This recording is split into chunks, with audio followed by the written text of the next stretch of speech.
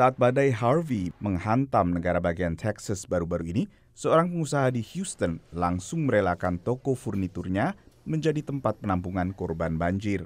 We said to hell with profit, let's take care of the people. Profit takes care of itself. If you take care of the people, the people will take care of you. We're trying to help them out right now with a lot of water, a lot of supplies, food, um, cleaning supplies, clothes. Respons perusahaan ini kontras dengan kecenderungan maraknya penggelembungan harga saat terjadi bencana. Toko Best Buy di Houston misalnya sempat menjual air seharga tiga kali lipat harga normal. So this difference can be attributed to differences in um, in management thinking and the corporate culture of companies. Menurut analis, apa yang dilakukan pemilik usaha saat bencana kadang bukan sekedar soal pencitraan. Bila terkesan mengambil kesempatan di atas penderitaan orang lain, konsumen bisa membalas di lain waktu. Di era media sosial saat ini, kesan ingin mengambil keuntungan dari bencana bisa tersebar dengan mudah dan instan. Itulah yang juga disadari oleh para pemilik usaha.